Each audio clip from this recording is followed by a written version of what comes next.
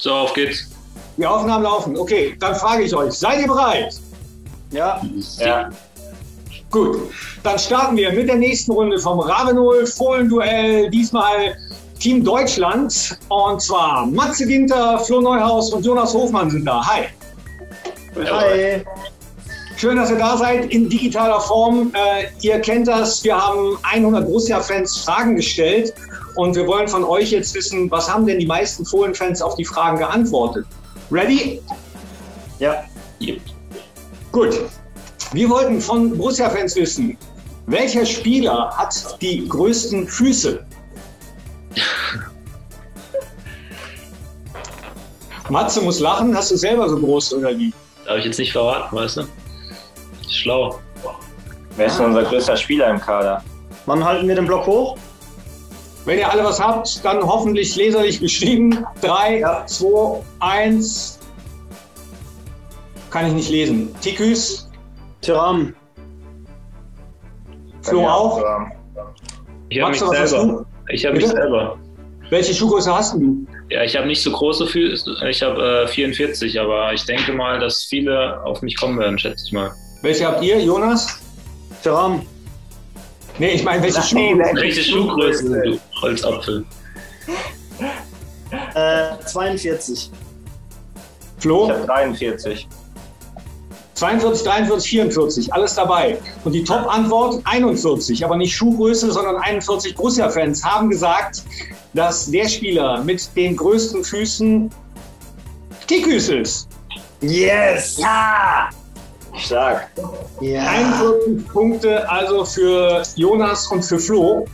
Matze, du Ich bin nicht dabei, oder was? Null, nicht, oder? nicht unter den Top 3. Nee, Dennis Zakaria haben noch 15 Borussia-Fans gedacht. Und Brell Embolo haben auch viele große Füße zugetraut. Also, im Moment 41 Punkte für Flo, 41 für Jonas, im Moment noch 0 für Matze. Wir haben 100 Borussia-Fans gefragt, welcher Spieler ist der Erste in der Kabine? Also wenn, wenn wir jetzt die Mannschaft gefragt hätten, wüsste ich. Ja, die denken genau der, der es auch ist, glaube ich. Ah, ja, das ist aber, das liegt, ah, ich weiß nicht. Wenn ihr die Mannschaft gefragt hättet, wer wäre es dann? Gini. Ich kann mich jetzt nicht nochmal selber nehmen. Jetzt komm, schreib mal auf, ist echt nicht so schwer auf ihn. Ja, 3, 2, 1 und Ja, Gini. ich habe hab wieder mich selber. alle drei Gini. Alle drei Gini. Aber ich habe noch zwei Ausrufezeichen. Dahinter. Das gibt Sonderpunkte. Okay, jetzt kommt aber die Top 3. Also, 100 Borussia-Fans haben wir gefragt. 13 haben gesagt Jan Sommer. Den wollte ich nehmen! 16 haben gesagt Lars Stindl. Und 23 haben gesagt Matze Ginter. Oh, ey, das hätte ich nicht gedacht. Der So. ging ja das auch schon oft in Interviews gesagt, deswegen. Ah, okay. Hab ich, oder? Nein, das war Spaß. Äh, Wir machen weiter mit Frage Nummer 3. 100 Fohlen-Fans haben wir gefragt, wer interessiert sich am meisten für Mode? Das ist echt schwierig. Ja, oh, ja. Für Mode interessiert muss das ja nicht unbedingt heißen, dass man gut angezogen ist. Ja, gut ist relativ, ne? Also, es empfindet ja jeder für sich dann gut. Aber äh, da gibt es drei, vier Kandidaten. Ich, muss, ja- ich muss jetzt quasi vorbeiziehen. Ich muss jetzt irgendwas Ausgefallenes nehmen. Du müsstest jetzt, äh, ein bisschen zulegen hier. steht 64 zu 64 zu 23. Und ich kann euch aber schon mal verraten, hier gibt es für die Top-Antwort 45 Punkte. Also, Relativ eindeutig. gut, habt ihr was? Ja. Ja. Okay, dann haltet hoch, 3, 2, 1, let's go. Jan Sommer, Traoré. Traoré und du auch Ibo. Okay. Ah, nee. Ja. Aha. Ja, aber Ja? Flo, Jan könnte auch gut sein, weil der hübsche Jan, das verbinden viele wahrscheinlich damit, dass der sich gut anzieht. Ja, ich habe halt jetzt voll an Instagram gedacht und so, ne? Weil der Ich Jan habe da ich auch hab, ich hab den Tino Lazaro noch. Der ist ja auch so ein Influencer. Oh, ja, ey. Ich habe zwischen Tino und Ivo. Ja, aber Ibo ist auch richtig gut. Jan Sommer haben sechs Fohlenfans genannt. Sechs. Also quasi nix. Also gar keiner. Sechs Punkte immerhin. Top-Antwort, Top-Antwort war Tikus. Den habe ich auch die ganze Zeit überlegt, weil Tico so. Ah, 45 Punkte hätte es dafür gegeben. Und auf Platz 2 bei den Top 3, dafür gibt es 30 Punkte, geht an Ivo Traoré.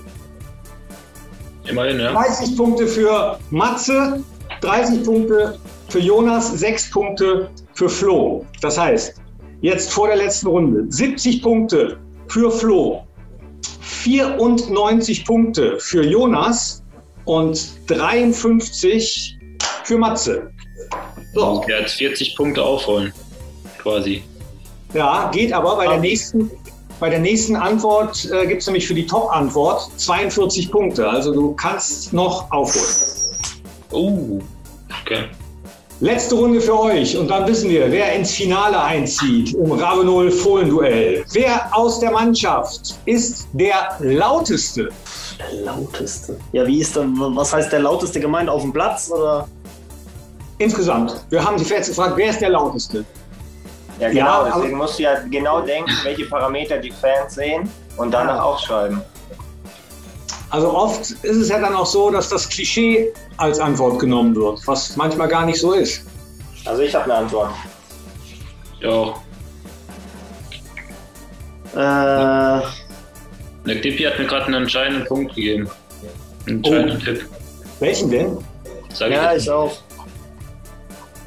Äh, ja. Ich hab. Ey, Ich habe gerade nochmal einen anderen, ist mir gerade auch nochmal in den Sinn gekommen, den ich hätte auch nehmen können. Willst du noch ändern? Dann darfst du jetzt noch ändern. Nee, ich habe ihm ja schon einen Tipp gegeben. Okay, dann Ja, komm, ich lass- Drei, lass es. eins, was habt ihr geschrieben? Kramer. Stünde. Ich habe auch Lars. Weil du hast gesagt mit Klischee und Kapitän. Genau. Und Kapitän hat das, äh, führt das Wort. Ja. Aber der Chris ist aber den äh, Geisterspielen immer am lautesten zu hören im TV und der ist auch so von den Interviews irgendwie, man hat immer das Gefühl, der ist voll laut. Habe ich das Ist, Gefühl. ist der Chris gerade bei dir oder? Nee. Nee, Ne? nee, das ist nicht da. Ehrlich nicht. Also einer von den genannten ist bei den Top 3 dabei. Wer aus der Mannschaft ist der lauteste? Haben wir 100 Fohlenfans gefragt. Äh, 42 haben gesagt, Tikus ist der lauteste. 21 haben gesagt, Ibrahima Traoré ist der lauteste. Ja. Ist er eigentlich. So, und auf Platz 3 ist Christoph Kramer. Christoph Kramer damit sieben Punkte für Flo. Nee, Aber die reichen ja nicht mal. Bitte? Die reichen ja nicht, an um auf Hoffi vorbeizuziehen. Nee, du hättest die Top-Antwort gebraucht, um vorbeizuziehen. Damit Matze mit 53, Flo mit 77 und Jonas Hofmann zieht ein ins Finale mit 94 Punkten.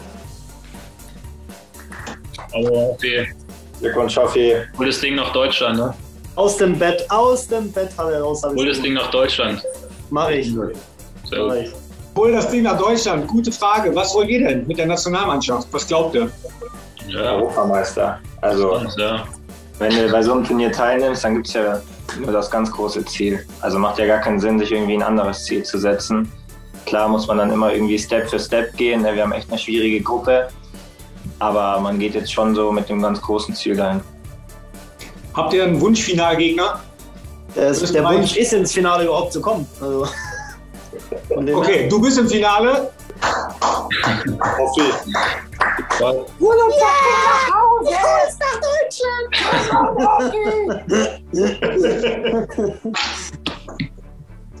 Ja gut, wir können Ja, raus, okay. oder? Hat Spaß gemacht. Ja. Das freut mich. Und bis die Tage, ne, Knippi? Hau rein.